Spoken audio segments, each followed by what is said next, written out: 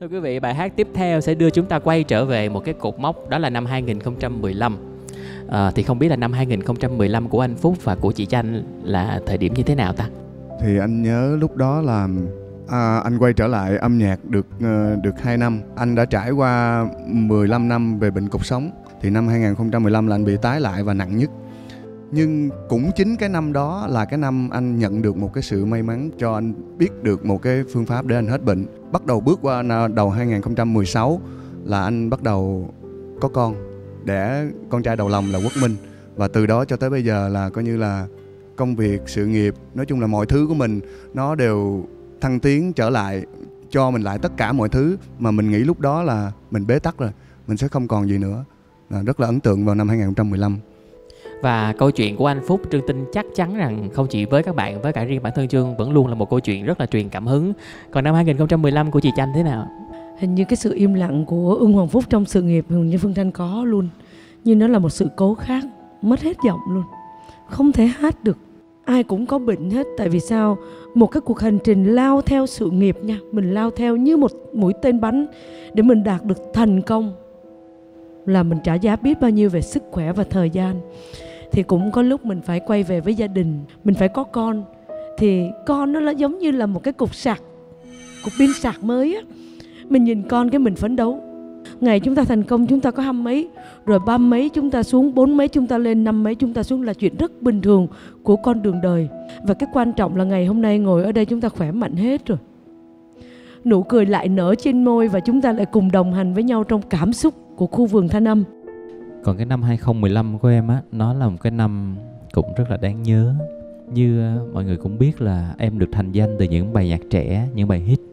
Thì cái năm đỉnh cao của em là năm 2009 là lúc đó là em có ba bài hát trên bảng xếp hạng, là chiếc khăn gió ấm mùa đông không lạnh với lại ờ, con đường mưa. Cái năm 2012 là cái năm mà em ra mắt nhật ký của mẹ, cũng là một cái đỉnh cao khác của em.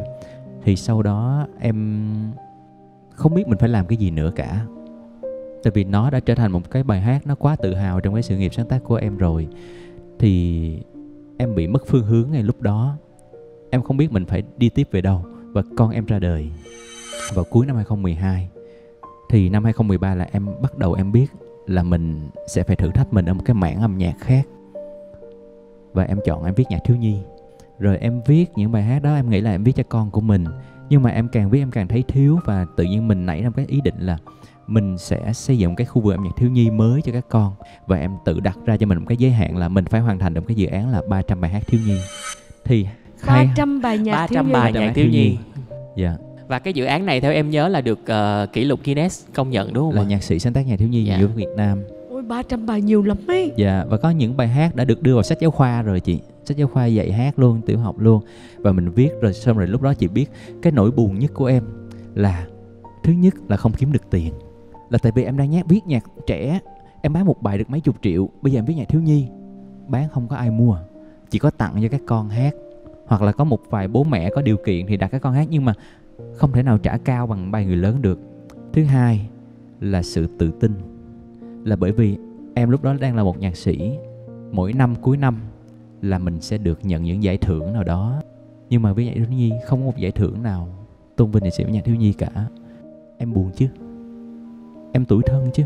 Và em đi một mình trên cái con đường đó như là một mình em bơi giữa biển, giống như một mình em lạc giữa sa mạc. Em không biết đi về đâu. Và đôi khi em phải tự hỏi mình mình làm vậy đúng hay sai? Mình làm vậy có được gì không? Có đáng không? Tại vì một thân mình thế nào không thể nào mà thay đổi được cái thực trạng âm nhạc thiếu nhi hết tại sao mình lại cố chấp đến như vậy? Nhưng mà em vẫn làm. May mắn là đến năm 2020 thì em hoàn thành. Anh thì anh thấy là chỉ sợ mình không làm thôi. Còn khi mình đã làm rồi thì chắc chắn cái sự cố gắng mình nó sẽ có thành tựu. Nên là anh không nghĩ đó là một cái giai đoạn khó khăn đâu. Chung cũng có sự cố.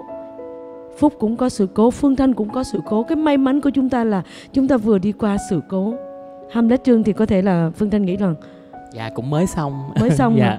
thế là thế năm thì... 2015 của Hamlet Trương có sự cố như thế nào? Dạ lúc đó thì uh, em còn vẫn còn rất là nhỏ nên là nó không có sự cố mà nó chỉ có một cái chuyện vui vui bé bé thôi. Bài hát mà quý vị sẽ nghe ngay bây giờ là một bài mà Trương viết vào năm Trương 25 tuổi, đó là bài để dành nước mắt Ờ, đây cũng là một câu chuyện khá giống với lại anh Trung đó là tưởng tượng thôi anh. À, nhưng mà có một cái kỷ niệm vui đó là bài hát này thì em không có dự định quay bởi vì lúc đó à, không có tiền. Nhưng mà à, cái video mà mọi người coi là một video của một bạn sinh viên. Lúc đó bạn đang học ở trường à, sân khấu điện ảnh. Cái đề thi của bạn để mà được tốt nghiệp đó là làm một mv ca nhạc. Và bạn đã liên hệ với trương để bạn quay cái mv này.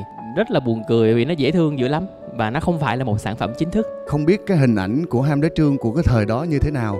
Thì bây giờ thôi chúng ta mời tất cả quý vị khán giả cùng nhìn lại những cái hình ảnh của nhạc sĩ Hamlet Trương vào thời điểm những năm 2015. Mọi người chúng tôi bật nữa. chúng tôi muốn được coi những hình ảnh của nghệ sĩ ngày xưa. Thôi bây giờ mình ai rồi cũng sẽ khác đó